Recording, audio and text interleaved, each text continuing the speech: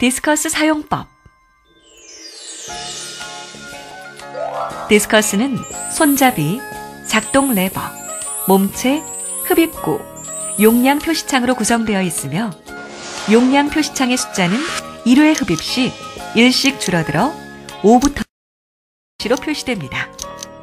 0이 나타나면 다 쓴 것이므로 그 전에 새 것을 준비해야 합니다. 흡입 전에 표시창에 남은 약물의 숫자를 확인합니다. 왼손으로 몸체를 수평으로 잡고 오른손을 손잡이 홈에 끼운 후 딱 소리가 날 때까지 돌립니다. 작동 레버를 딱 소리가 날 때까지 돌립니다. 작동 레버를 돌리면 흡입구가 열리고 약이 나올 수 있게 준비됩니다.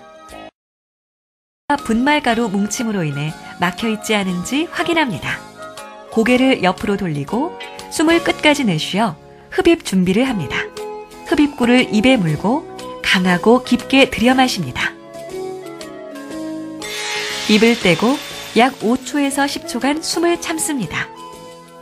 숨을 참아야 흡입한 약이 기관지 내부에 골고루 퍼질 수 있습니다. 참았던 숨을 자연스럽게 천천히 내쉽니다. 손잡이를 잡고 뚜껑을 딱 소리가 날 때까지 왼쪽으로 돌려 닫습니다. 흡입이 끝난 후에는 반드시 물로 입과 목을 헹구어 주세요. 디스커스 잘못된 사용법. 흡입구에 후 하고 부는 경우. 흡입 약물은 들여 마시는 약물입니다. 흡입구에 후 하고 입김을 불면 입에서 나온 수증기에 의해 흡입구 구멍에 약물이 붙어 다음에 들여 마실 때 약이 나오지 않게 됩니다. 흡입구에 입을 대고 들여 마시세요. 작동 레버를 돌리지 않은 경우 손잡이를 딱 소리가 날 때까지 돌리세요. 손잡이를 돌린 후 작동 레버를 딱 소리가 날 때까지 돌려야 약이 흡입할 수 있게 준비됩니다.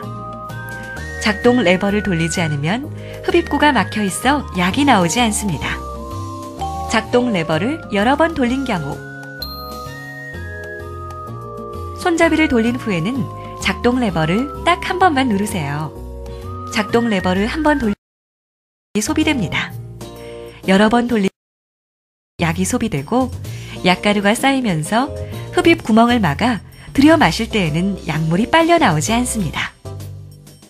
숨을 짧게 들여 마신 경우 숨을 너무 짧게 들여 마시면 약이 입안에만 들어가고 기관지에는 들어가 강하고 깊게 숨을 들여 마시세요. 숨을 안 참은 경우 흡입 후 숨을 바로 숨을 내쉬면 약이 다시 나와 기관지에는 약이 남지 않게 됩니다. 약 5초에서 10초간 숨을 참았다가 내쉬어야 약이 기관지 벽에 고르게 퍼져 약효가 나타납니다.